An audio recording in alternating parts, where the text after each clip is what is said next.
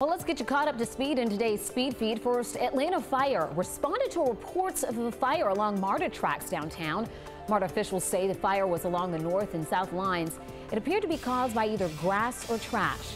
A bus bridge was installed between Five Points and the North Avenue stations due to complaints of smoke blowing into the tunnels there.